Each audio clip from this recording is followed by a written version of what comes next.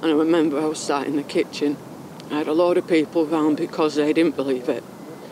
And I was with CID and sat in the kitchen and he gets a phone call at about, I think it was quarter past eight. There was only just getting his body out of the water. And that's when I just broke down. And I knew that my life had changed forever. Because it's not just my life. He left a sister behind. She was eight at the time. And to turn around to your daughter, telling her that her brother is not coming home, was the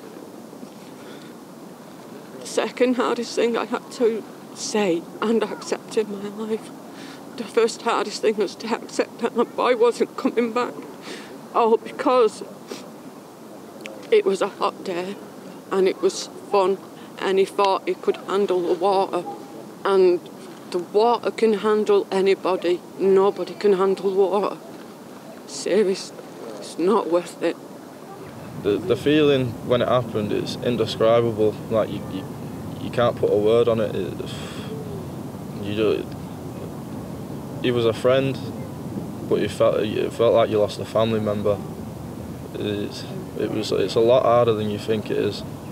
Especially it's you only think it's water, you know, and then and the next minute you're a friend down. Do you know what I mean? It is it's very very hard, very hard. Reservoirs and lakes are large bodies of water that never really warm up that much, uh, even in the height of summer. And unfortunately, they increase in depth quite quickly. So as people go out into the water, you can quite quickly get out of your depth. And with that cold water, even even if you're a strong swimmer, it can it can take your breath away. It can seize your muscles. It can stop you from swimming. Lost his life too soon, just because all of the boys wanted to have a bit of fun in the, the reservoir. It, it does take a big toll on your life, and as much as you're not going to think it is, is. I, I've had good days. I've had bad days where I'll sit at home and I'll cry about it. But even on the good days, I'll, I'll still you still have to have a minute to yourself and disengage from what everyone else is doing because you, you, you, he's meant to be there. He's just an empty feeling. Yeah. It? Like, it breaks you. I couldn't.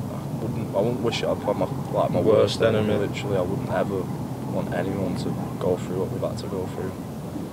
Honestly, just please don't go in the water. It's not worth it.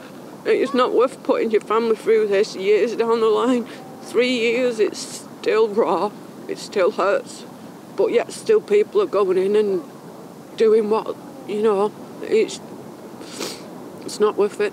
Please listen when we tell you don't go in it. It's not safe. Really is not safe.